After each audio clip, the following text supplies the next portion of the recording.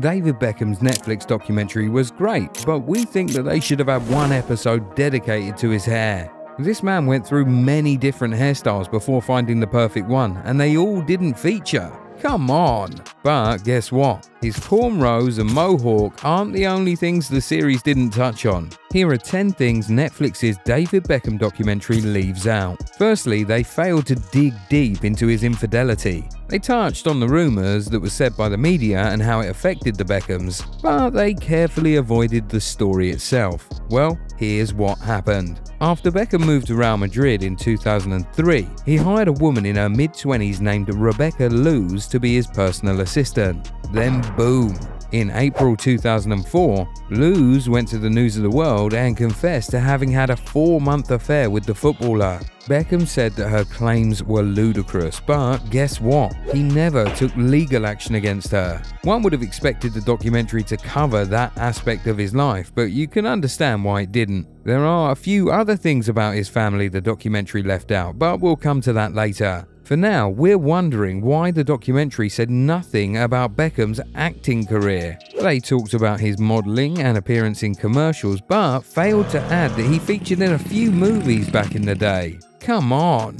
He appeared in the British movie Goal and its sequel Goal 2 Living the Dream. He also made appearances in non football related movies like The Man from Uncle and King Arthur Legend of the Swords. There were even rumours that Beckham would feature in the final season of Peaky Blinders after he visited the set, but he ended up not making any appearance. But you know where he actually made an appearance? Deadpool 2. Yeah, it was only a promotional trailer, but it counts, doesn't it? Moving on though, the documentary properly talked about his iconic free kick against Greece that sent England to the 2002 World Cup and turned him from villain to hero. But the producers left out the injury that nearly kept him out of that tournament. The tournament was scheduled to start in May, but in April 2002, Beckham broke his leg and that kept him out for more than six weeks. He was so close to being left out, but he recovered just four days before kickoff of the tournament. In fact, he wasn't 100% when he played that game against Argentina. And if the documentary could show him scoring the revenge winning goal, then they could have shown the injury which nearly stopped him from having that moment. Speaking of the World Cup, the documentary failed to state that the midfielder missed the 2010 tournament. As was documented in the series, Fabio Capello told Beckham that if he wanted to make the World Cup squad, he had to be playing in a top league. And that's why Beckham went on two loan spells to Milan in 2009 and 2010. He was very much involved in the qualifiers and was going to be a sure pick for the tournament, but he ruptured his Achilles tendon in March 2010 and that sidelined him for six months, effectively ruling him out of the World Cup that summer. But for real, if you talk about him preparing for the World Cup, you might as well include that he eventually didn't make it to the tournament. Also, the whole Inter Miami phase of his life looked like an afterthought. If you didn't know the story before, the documentary would have you thinking that Beckham buying an MLS club was easy peasy but it actually wasn't. The documentary left out details of how difficult it was for him to get the club up and running. The hope was for the club to start playing in 2016 or 2017, but it kept getting pushed back because there were a lot of delays with securing funding and completing a stadium deal. Because of all these delays, Inter Miami didn't start playing until 2020. That's a delay of three to four years. From that alone, you can imagine how much detail the documentary left out. But to be fair, if they were to go into detail about how Inter Miami was really founded, that'd be a separate documentary all on its own. But they surely could have added how David Beckham managed to convince Messi to move to Inter Miami, the dinner conversation with co-owner Jorge Mas, the flight to Barcelona in 2019 to try and get Messi's dad on board, sneaking into a hotel in Barcelona to make his intentions known. All that would have been great for the documentary, don't you think? Now, remember we said that there were more things about his family that were left out? Well, here's one. David Beckham and his dad Ted were not always as cordial as the documentary made it seem.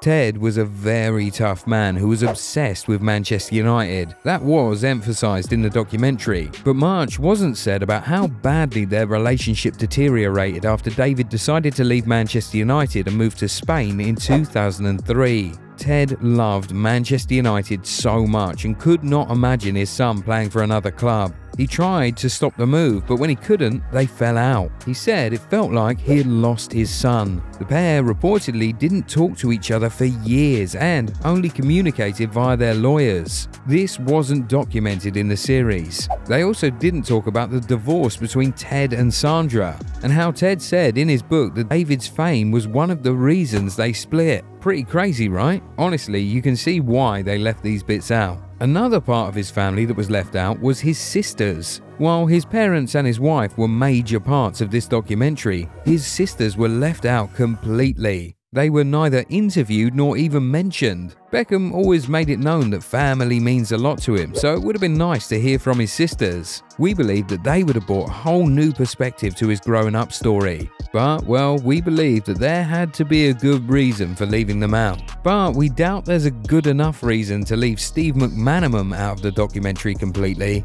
You see, McManaman was the first player to move from the Premier League to Real Madrid and was the only Englishman in the squad when Beckham made that move in 2003. So, naturally, it was Steve who helped David settle in, and very importantly, helped with the language. When Real Madrid wanted to release McManaman, Beckham begged the management to let him stay, but his plea changed nothing. Their minds were already made up.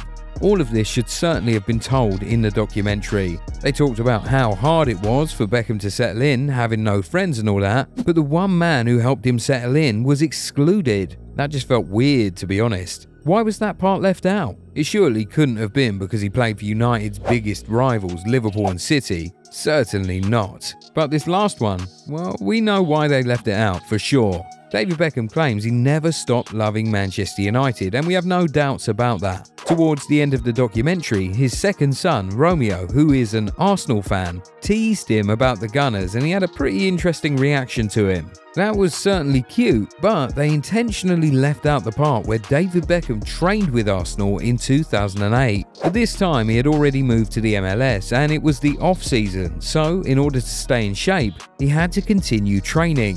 One would have naturally expected him to immediately go to Manchester, but he was probably avoiding an interaction with Fergie, so he went and trained with Arsenal instead. Who knows, that was probably when Romeo was turned into a gunner. He was only 5 years old at the time, who knows what the turning point for him was. We should also add that all three of Beckham's sons played for Arsenal at one point or another. The documentary also conveniently left that out. Interesting, isn't it? But hey, we're not taking anything away from the documentary, it was great right? What do you think about it? Tell us in the comments. If you enjoyed this video, give it a thumbs up and subscribe to the channel. Also, turn on the bell notification so that you never miss out on new content. We'll catch you in the next one. Bye.